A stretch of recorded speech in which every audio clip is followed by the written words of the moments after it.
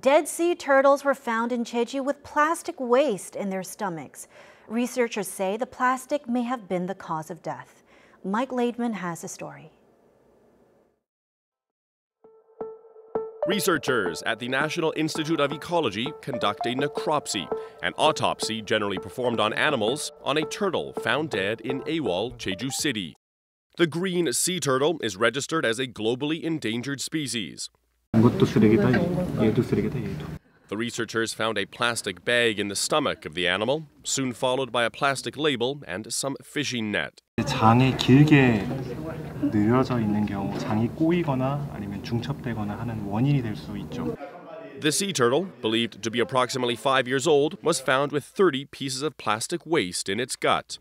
50 pieces of plastic waste were found in the gut of another green sea turtle, with researchers suggesting the plastic may have been the cause of death. 사실상 엄청 큰 것들만 보이게 되는데요. 실질적으로는 훨씬 작은 미세 플라스틱들이 엄청 많이 있는 거예요.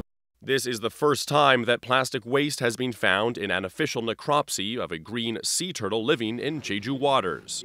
Nine research institutes, including the Marine Biodiversity Institute of Korea and the National Institute of Ecology, have been collaborating to identify the cause of the animal's death since last year. They have carried out necropsies on 38 dead turtles. Plastic particles were found in 23 animals, or 60% of them.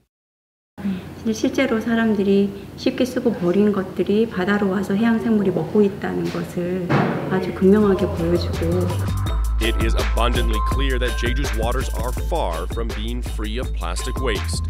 The trash we so recklessly dump in the ocean not only pollutes the marine environment, but causes the countless deaths of so many creatures living in the sea.